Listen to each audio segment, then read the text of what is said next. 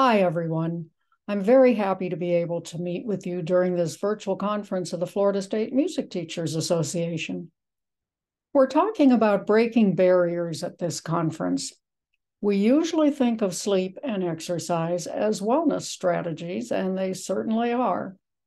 But I want to move beyond that concept and speak about sleep and exercise as practice strategies that lead to more solid memory and thus greater confidence as we perform, and that leads to better health outcomes. If you go to my uh, blog site, themusiciansbrain.com, in the menu, go to links, scroll down to FSMTA Wellness. There will be an online handout um, concerning this session with links to all of the research mentioned in this talk as well as links to videos, books, and other material of interest. We speak with our students about the importance of both sleep and exercise, but to most students and to us as well, that extra practice time seems more important than either sleep or exercise. But think about it. If you were facing surgery, how would you feel if you knew the surgeon had had only four hours of sleep the previous night? Would you feel that she was at her best to perform surgery, to remember every aspect of the procedure, to be able to handle any complications that arose? Probably not. But our students, and sometimes we, think that we can perform with little sleep and still have our brains functioning well during the performance. And exercise?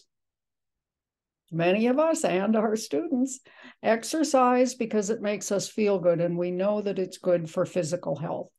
But both sleep and exercise have been shown to be important for encoding and consolidation of memory, which of course is what we rely on when we perform. So let's begin with sleep. Way back when I was a college senior, this photo might have been me. Even though I wanted to get a performance degree, I was strongly urged to get a music education degree as well. So I was doing a double degree, working very hard on my senior recital, stressed while waiting to hear from graduate schools, student teaching in both elementary and high school, and teaching piano in the preparatory department every afternoon when I returned from student teaching. I was exhausted, and the only time I had to practice was at night. One night in the practice room, I put my head down on the keyboard for just a few minutes that, to just rest a little bit. The practice rooms all had small windows on them, and all of a sudden outside the room, I heard a couple of guys talking. One said, What do you think she's doing? And his friend replied, Must be a new way of memorizing. I went home and told my roommates about it, and we laughed, thinking that the idea of sleeping to help memory was pretty funny. But that student was on to something, even if he or I didn't know it. Matthew Walker is a professor of neuroscience and psychology at UC Berkeley, and he's a leading researcher on sleep and the author of Why We Sleep.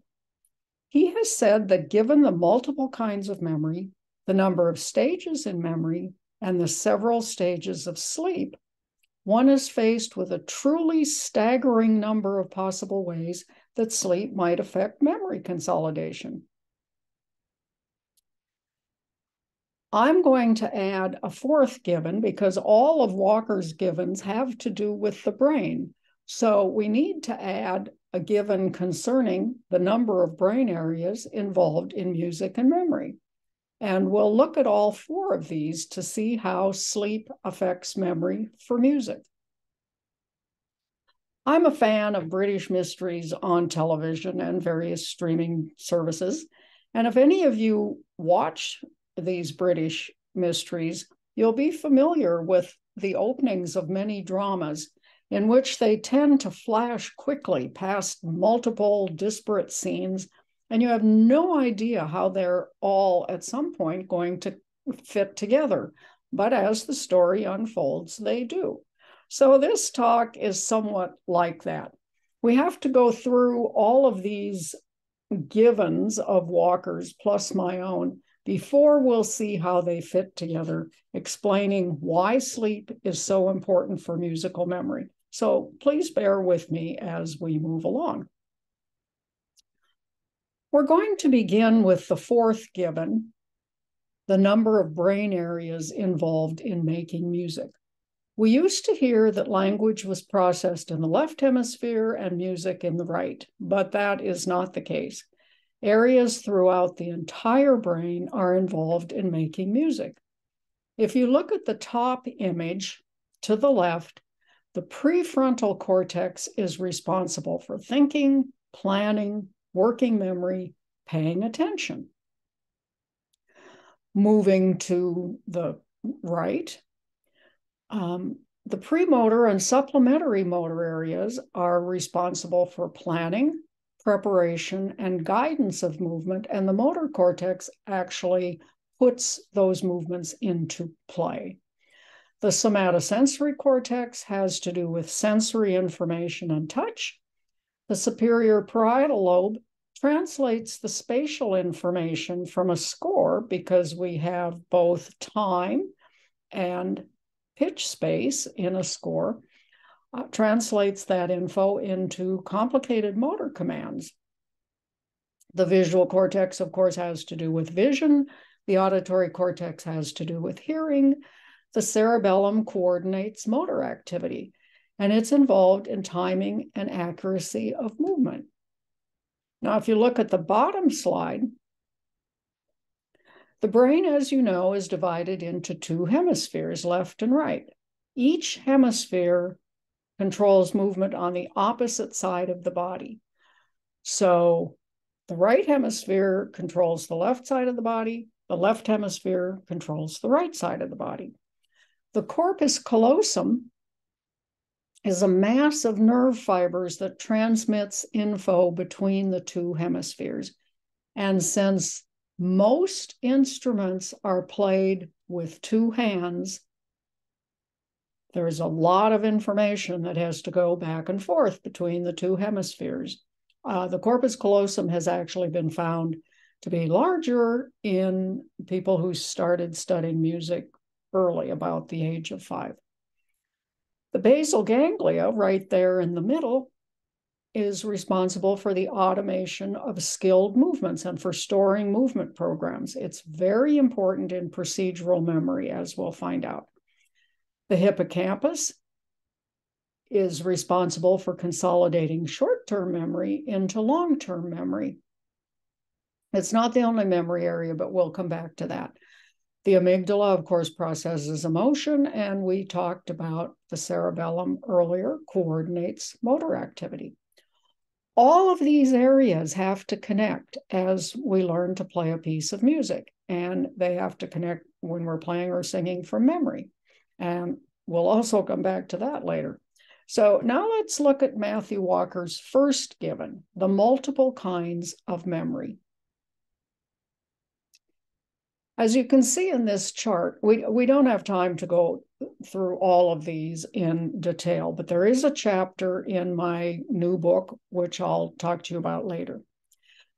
But if you look at the top of the chart, all information enters the brain through our sensors, sensory memory, vision, hearing, touch, taste, smell, and proprioception, which is our sense of where our body is in space whatever you have paid attention to, sensory memory immediately sends to short term memory. If you don't see it, it doesn't go to short term memory. If you don't hear it, it doesn't, or if you're not paying attention to a sound, it doesn't go to short term memory. Short term memory, as you know, doesn't last unless we commit it to long term memory. And there are two kinds of long term memory explicit, which is conscious memory, implicit, which is unconscious. Explicit is often called declarative, implicit is called non declarative, sometimes procedural, which is one of the kinds of implicit memory. The two that we are most concerned about other than sensory memory, which is taking everything into the brain. Procedural memory is implicit memory, it's motor skill memory, memory for how to play an instrument, how to play a particular piece of music, tie your shoes, drive a car.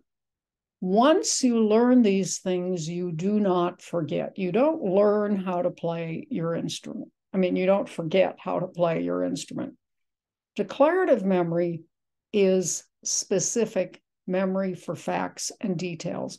It's information you can verbalize. It's memory for a piece of music. Um, the details about the piece, naming chords, key signature, key changes, etc. Declarative memory is what we lose when we have a memory slip. We don't forget how to play our instrument. Procedural memory is intact. Declarative memory is what we forget when we have a memory slip. So here's where the different brain areas come in. Procedural memory is stored in the basal ganglia, which automated and stored movement programs. Amygdala processes and stores emotion, and the cerebellum, which is coordinating motor activity. Declarative memory is stored in multiple areas of the brain. The hippocampus actually consolidates long term declarative memory, but then it sends the individual components back to the brain areas where they were first processed. So, uh, visual information goes back to the visual cortex to be stored. Auditory information goes back to the auditory cortex to be stored. So you can see that many different parts of the brain are involved in memory for music. Okay, now let's look at Matthew Walker's second given, the number of stages in memory. We're able to learn music, foreign languages, steps in cooking, how to drive a car, um, due to our brain's ability to encode, consolidate, store, retrieve, and reconsolidate information. You often see just three steps encode, store, retrieve, but that leaves out consolidation, which in my mind is the most important. We can't retrieve something if we haven't consolidated it. We're going to find out that sleep and exercise are incredibly important for encoding, consolidating, and retrieval. So we're going to look at these in a particular piece of music. And I just picked Clementi's Opus 36, number three, Sonatina, C major, which you all know. So encoding is the first step. If information isn't encoded, it can't be consolidated or stored.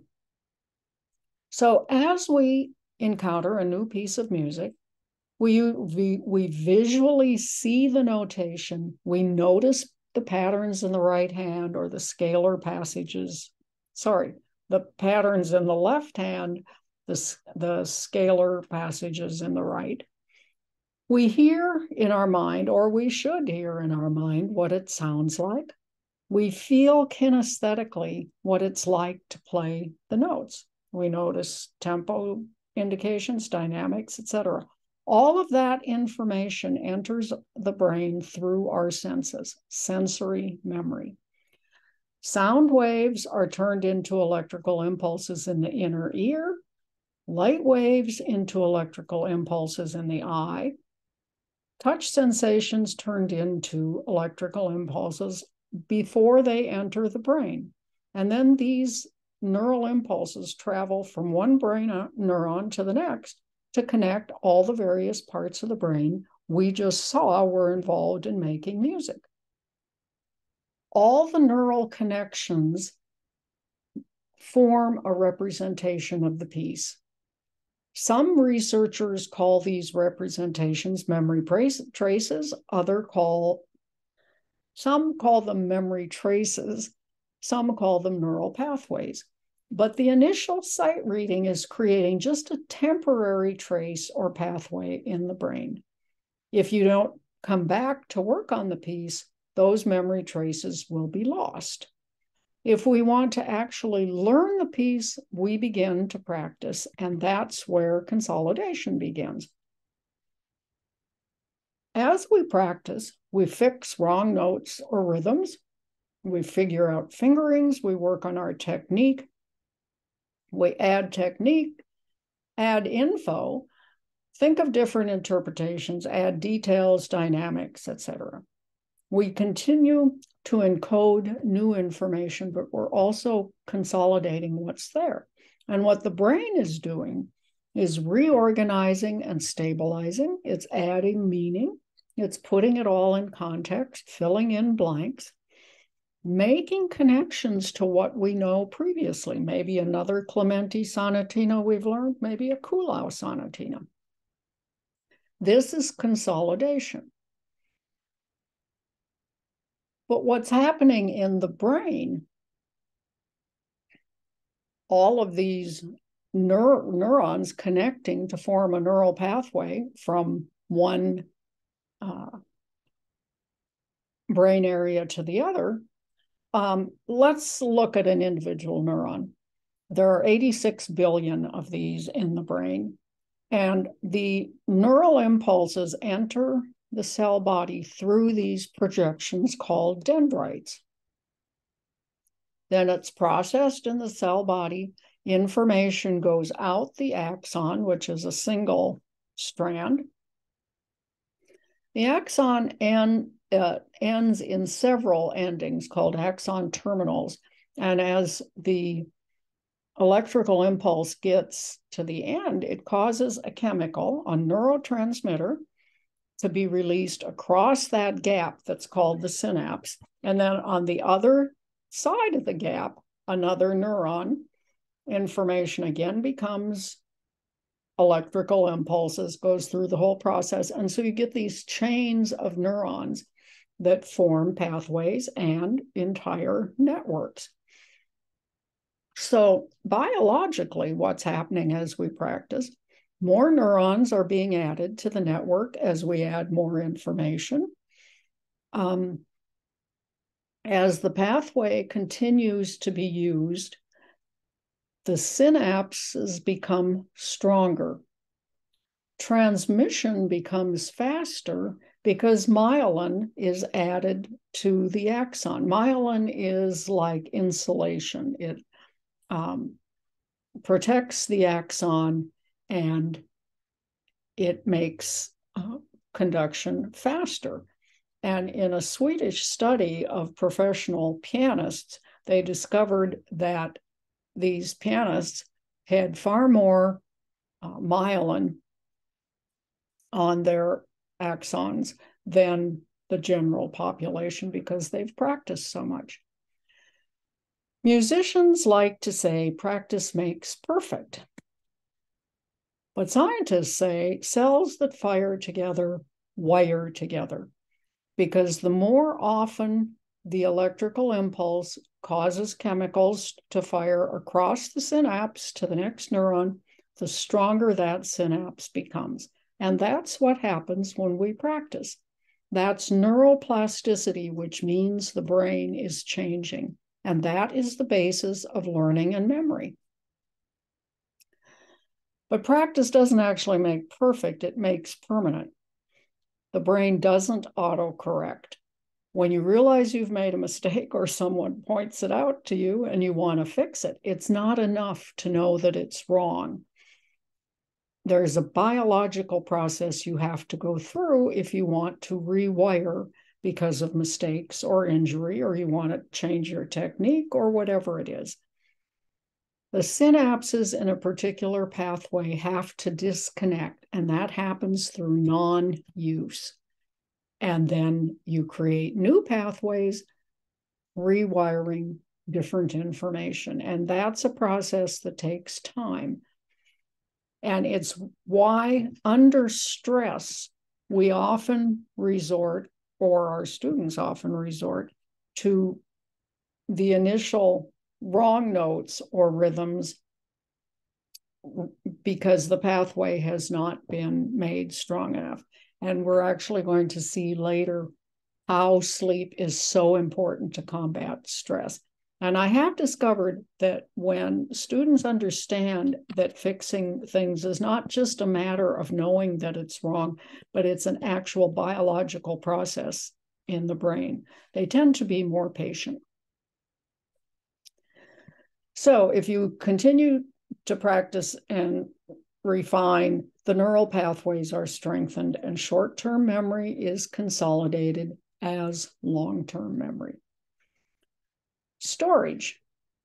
Storage for a piece isn't all in one place. Researchers sometimes use the example of an apple. You think of an apple, the color red is processed in one place in the brain. The fact that it's a fruit is another place. The fact that it's round is another place. Um, the fact that you can use it to make apple pie comes from another place in the brain. And all of this is pulled together when you think apple. The same thing is true with music. We can't control where memories are stored, but what we can control is what we've paid attention to as we practice.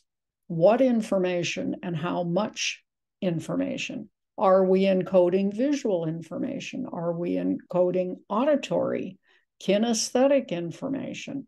How much knowledge about the piece are we encoding? All of that is stored in different places, but it's all pulled together when we retrieve a memory, which is when we perform. The neural pathways that were formed when the memory was encoded and consolidated are revisited when we retrieve the memory. And how well we remember depends on the strength of those pathways. The hippocampus has consolidated short term declarative memory into long term, but then it sends the components back to the auditory cortex, the visual cortex, the kinesthetic, the somatosensory cortex, back to the areas where they were originally processed. And all of that is pulled together when we play a piece from memory. The act of retrieving a memory actually changes it. Um, just as the act of practicing a piece changes over time, each time we play a piece, the pathways are strengthened, but they're also changed a little bit. Might be slightly different interpretation, better fingering, more fluid technique. So that those pathways are constantly changing. The memory itself changes and it's reconsolidated and again stored. The following slide is an artist's version of neurons connecting to form vast neural networks. The flashes of light, of course, are the electrical impulses that are traveling uh, from the dendrites into the cell body and then down the axon to another cell. It's rather remarkable to think that the beautiful music we make and listen to in the brain is all electrical impulses and chemicals. It's the mind that actually creates music. So, as we have just seen, we have multiple stages of memory, but we also have multiple stages of sleep. Matthew Walker's third given the several stages of sleep. We tend to think of practice as synonymous with physical activity we must be actually playing the instrument. We're familiar with this phrase, let me sleep on it, usually meaning to delay a decision to have time to think about it. But sleeping on it is also necessary to prepare the brain for encoding new material, to consolidate memory more securely, and to ensure access to memory when we're under stress. In the 1920s, researchers found that memory retention was better after a night of sleep than after an equivalent amount of time being awake. And they thought that was because the brain wasn't active and it wasn't receiving any new sensory information. It didn't occur to them that the brain might actually be doing something during sleep. But in 1929, a new technology, encephalography or EEG, was developed to record brain activity. And scientists could begin to see that, in fact, during sleep, the brain was very active. It didn't shut off.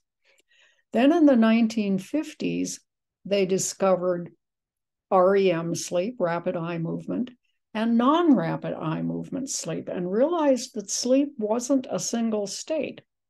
While we sleep, our brain cycles through several stages of both REM and non REM sleep. N1 is the lightest as we're just drifting off. And then it gradually, the waves get slower and deeper through stages N2, N3, and sometimes researchers speak of an N4. N3 or N4 is the deepest sleep, and it's actually called deep or slow wave sleep. REM is when we dream. Sleep spindles, which you can see with N2 here, are bursts of neural activity. They're an EEG hallmark of non REM sleep, and they're believed to facilitate many sleep related functions like memory consolidation. We go through several cycles of sleep a night, beginning with N1, then N2, then N3 or 4, as brain waves slow down and sleep becomes deeper. Then back to N2, then REM sleep, and then the whole thing repeats. And we go through several cycles a night, and several stages of sleep are involved in memory. About 75% of sleep is spent in the non REM stages, with the majority of that in N2. So now let's start putting all of this together. Encoding, we said, is the first stage in memory. It depends on our brain's ability to pay attention to detail. If we don't see, hear, or feel it, it won't be encoded. Lack of sleep impairs encoding. Several studies by Sean Drummond, who is at Monash University in Australia, found that sleep deprivation causes the hippocampus, which is important for declarative memory, to not function well. And other areas of the brain try to compensate, areas of the brain having to do with short term and working memory and they overcompensate. So if areas of the brain that aren't designed for encoding are trying to do the work, the material won't encode well, and then neither can we consolidate it. According to Walker, consolidation begins while we're still practicing, and it continues from a period of just a few minutes up to six hours after practice while we're still awake. The memory is maintained, stabilized at the same level as when practice ended, and it doesn't get any better. It just stays the same. However, memory does improve after a night of sleep. Additional learning takes place without any additional practice. There's evidence that both slow wave sleep and REM sleep are involved in the consolidation of declarative memory, the memory for facts and details about the piece. And stage two, non REM sleep, is associated with the consolidation of procedural memory, motor skill memory. So, all stages of sleep, with the exception of the very earliest stage, are involved in one kind of memory or another. Several studies have shown that motor skills improve in speed and accuracy after a night of sleep. And I must say, my favorite is from the University of Texas. Researcher Sarah Allen is now at Southern Methodist, but she worked with Robert Duke at UT Austin and, in fact, has written several papers with him. Duke has presented at MTNA on multiple occasions and many of you may know his book, Intelligent Music Teaching. Sarah Allen did a study of 60 undergrad and graduate music majors divided into four groups. Uh, these 60 students were all majoring in other instruments, but they had basic piano skills. All 60 learned one or both of two melodies in an evening practice session, and they were monitored for speed and accuracy. Then they went home to sleep. Students who had learned one melody, melody A, when they came back in the morning, showed over 11% improvement in speed and accuracy without any additional practice. Students who learned both A and B, but reviewed melody A before going home, also had 11% improvement. Students who learned both melodies A and B uh, showed no improvement in either one. Learning the second one seemed to cancel out the first unless they reviewed A before going home. And then they had the 11% improvement. Students who learned A at night, B in the morning, didn't show any improvement in either. That's an amazing improvement in procedural memory, motor skill memory, just from sleeping 11%. So both slow wave sleep and REM sleep are involved in the consolidation of declarative memory. And stage two non REM sleep is associated with the consolidation of procedural memory. Okay, now what happens when we add stress? A sleepless night can raise anxiety levels by up to 30%, and that's multiplied after several sleepless nights. Swedish researchers at Uppsala University looked at both procedural and declarative memory under stress. In an evening session, participants in the study learned card pair locations on a computer. This is declarative memory, and a finger tapping sequence, procedural memory. Researchers often speak about um, finger tapping sequences, and it means something like, you know, using 314152 35124, whatever, the five fingers.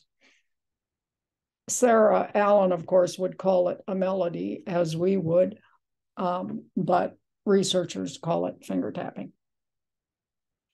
Half of the participants after these um, after this evening session slept for eight hours, the other half for four hours. They were then tested on the memory tasks from the previous evening, and they all did pretty well, regardless of the amount of sleep. But then the researchers added stress. I, I think in terms of amount of time, really pushing them about time. Procedural memory, the finger tapping, remained fine for everyone. But those who had had four hours of sleep showed significant impairment on declarative memory, remembering the card pair locations. Um, so we don't perform without some degree of stress, some more than others. Um, so if you perform, which is stressful, having not had enough sleep, you aren't going to forget how to play your instrument. That's procedural memory. But you are far more likely to forget the music. So, adequate sleep is important for encoding and consolidation of memory and also for having access to memory while under stress. So let's look at the other practice strategy in this talk exercise. There has been far more research concerning sleep and memory than exercise and memory. Much of the research with exercise and memory has been in the field of sports. But we've seen over the past few years how closely related sports and music are concerning wellness considerations for athletes and musicians. Both Gail Berenson, who set up a musician wellness program at Ohio University, and Linda Cockey, who created one at Salisbury University in Maryland, can speak to musician wellness programs in their respective universities that involved athletic trainers. So many of the research studies involve learning lists or pairs of words and then recalling them prior to exercise or after exercise. This is declarative memory, just like our memory for a particular piece of music, because there are lots of facts and details about the music we can talk about. Declarative memory. So, just as with sleep, exercise both before and after learning seems to help in different ways.